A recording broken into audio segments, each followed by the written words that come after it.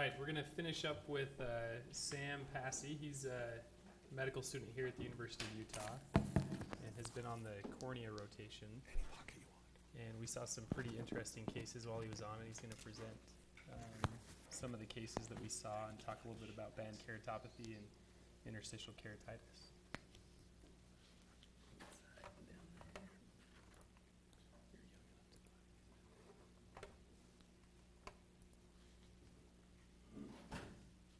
Okay, thank you uh, for having me uh, come to speak today. So I'll be covering two corneal diseases today, band keratopathy and interstitial keratitis.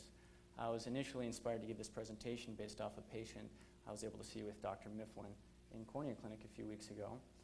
Uh, these, first, these first images are actual images we were able to obtain from the patient. Um, she's a 55-year-old female with a history of neurotrophic cornea in the left eye, secondary to HSV infection uh, with significant band keratopathy um, and interstitial keratitis. These first few images are kind of highlighting the band keratopathy, and I think they give us a good introduction um, as we'll begin our discussion. So the definition of band keratopathy, it's a chronic degenerative condition of the cornea uh, characterized by gray to white opacities of calcium precipitates um, in the superficial layers of the stroma, typically in this interpalpebral region, which you can see nicely on the images. The pathophysiology, I think, can really be boiled down if we think about just concentration and pH of the tears in this interpalpebral region. Um, the interpalpebral region, of course, has the highest rate of tear evaporation, the highest rate then of solute concentration of your tears. So that makes sense. And then you'd see um, keratopathy then commonly in patients with severe dry eye or corneal exposure syndrome.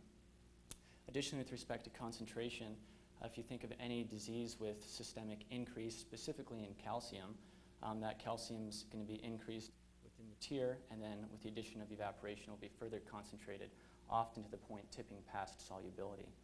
If we think of pH, uh, the interpalpebral zone actually loses a lot of carbon dioxide, which is an acid. So you have an increased baseline pH in this region, which increases your um, rate of calcium precipitation or decreases the solubility. And further in diseases, which we'll get to in a little bit, like chronic inflammatory diseases of the eye, you can have a further increase in the pH um, leading to calcium precipitation. The presentation, so the calcium precipitates, uh, you can see these images in the Bowman's layer in the anterior stroma, initially as granules um, and then coalesce and can lead to fragmentation of Bowman's layer, disruption of the epithelium, so your patients often present with eye pain, foreign body sensation, uh, decreased vision, and they can get glare from the um, salt precipitates. On exam, the characteristic interpalpebral uh, gray-white haze with a rough surface. And if we were to look histologically um, at the cornea in these patients, on the top right you can see an H&E stain. Um, the basophilic staining or the purple staining regions are the calcium in Bowman's layer. And you can use a special stain to look for calcium like a Kossa stain on the bottom right where calcium looks black. I like to think of the differential diagnosis into three main categories um, ocular, systemic, and chemical. Uh, with respect to ocular, I think of sick eyes, chronically inflamed eyes that are going to alter the pH and lead to calcium deposition or in precipitation. So chronic uveitis classically associated with band keratopathy, additional JIA, phthisis, and then diseases that affect the evaporation of tears, so dry eye syndrome, corneal exposure, which we touched on briefly, and then systemic, anything with that's going to increase your systemic con concentration of either calcium or phosphorus. So hyperparathyroidism, hypervitaminosis D, um, multiple myeloma, sarcoid Paget's, and then chronic renal failure is very commonly associated with band keratopathy, but in this case, you can actually have low to uh, normal calcium levels, but it's the hyperphosphatemia. Over the years, a number of chemicals have been identified to be associated with uh, band keratopathy. On the top of the list is silicone oil, uh, which we see often in patients after retinal detachment and then more historically, chronic use of phosphate-containing steroids. To further narrow your differential, you can order a series of labs to check their patient's serum calcium phosphorus, renal function, ACE if you're looking for sarcoid, PTH for parathyroid. Um, and histology, if you were to look at um, some of these corneas to better differentiate, you're going to see uh, Bowman's layer calcium deposition as well as intercellular calcium deposition. But in cases with uh, hypercalcemia, you'd actually see intracellular as well. Indications for treatment are really just to decrease vision or mechanical irritation um, with the patient as soon as it covers that central visual axis. The mainstay of treatment is uh, surgical debridement, uh, followed by EDTA chelation therapy. Here's a nice image of band keratopathy before and after treatment. Uh, the treatment's pretty straightforward, simple. You can done under topical anes- anesthesia. First, remove the epithelium with either a sponge or a blade. Apply this EDTA chelation uh, treatment. Um, and then if there's further calcium deposits, you can remove with blunt dissection of a spatula or blade and then cover the corneal defect with either bandage contact lens. Uh, some people use amniotic membranes. Contraindications are really any disease in which we'd be um, risking a persistent epithelial defect. Prognosis, the visual and symptomatic outcomes are generally very good um, with surgery. However, the recurrence rate is uh, very high if the underlying diseases are not corrected, which is understandable. Move on now to talk about interstitial keratitis. These next images are from the same patient and are trying to highlight the interstitial keratitis, specifically uh, the neovascularization, which is extremely remarkable in this patient. In this one I like, you can see it actually going all the way into the central visual axis. And this is favorite, my favorite image we were able to obtain. And in the, in the middle, all these tiny little red specks are individual red blood cells you can visualize within the cornea. And in clinic, you could see these just flowing through this maze of new vessels in this normally avascular tissue, which was quite remarkable. So the definition of interstitial keratitis, commonly referred to as IK, it's a non-ulcerative inflammatory um, condition of the corneal stroma, uh, characterized by non-suppurative cellular infiltrate, often accompanied by vascularization, and of course not primarily involving either the epithelium or endothelium. Pathophysiology is thought to be mostly immune mediated against antigens, both infectious and non-infectious in the corneal stroma, accompanied by cellular infiltration.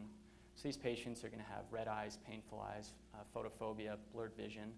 On exam, you can see um, corneal haze, often stromal neovascularization, ghost vessels if it's in the quiescent stage, and sometimes lipid keratopathy.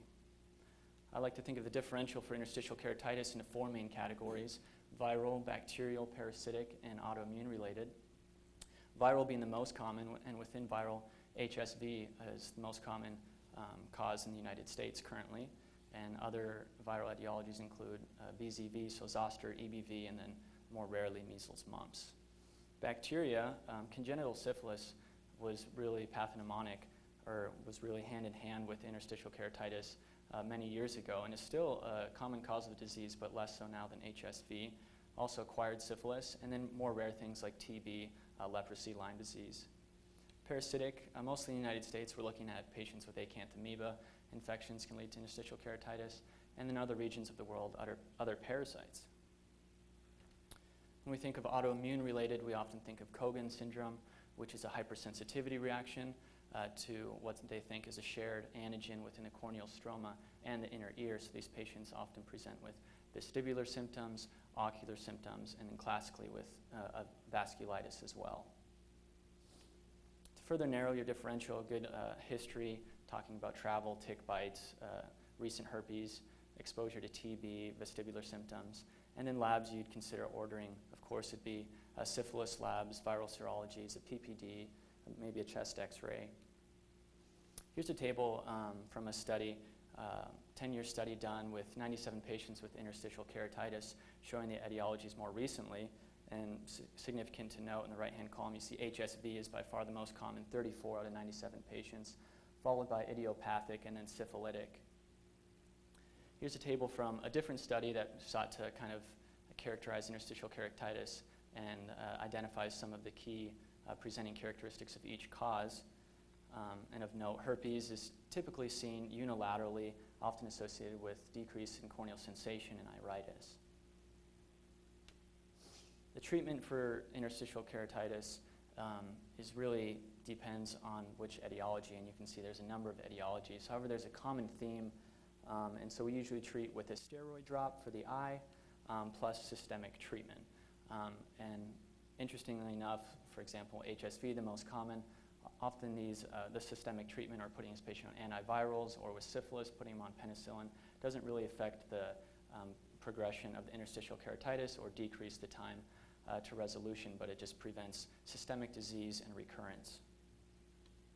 The prognosis and visual outcomes are generally very good if treated early with the appropriate treatment.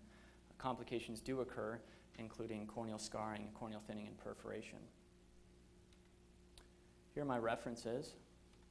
I'd like to acknowledge and thank Dr. Mifflin for his help, Dr. Ambati, um, Linda Taylor for the images, and the Moran Eye Center for allowing me to rotate. And this is my 11 day old uh, first little boy. Any questions?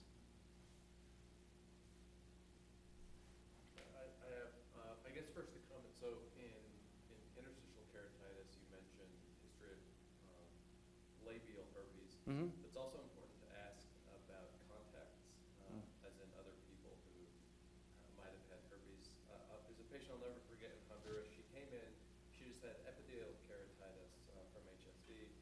We talked with her, we treated her, at the very end, she left, and then she came back and kind of sheepishly asked if you can get this in your eye from someone kissing you on the eye with a cold sore. And her boyfriend had just ten days before with a cold, big cold sore on his lips, kissed her on the eye for some reason. And she was pretty angry at that moment, so. Um, hopefully it won't come up again, but, or, um, so I've always wondered with band keratopathy, the mechanism, I mean, anything from silicone oil to Mhm. inflammation. I know you talked a little bit about it, but can you shed a little light on why On- so many different things might precipitate calcium? I mean, I mean, from what I've read, it's pretty much the level of calcium, the, solu- the solubility of calcium and phosphorus in the tear film is already pretty much at the tipping point. So anything that just to push that over.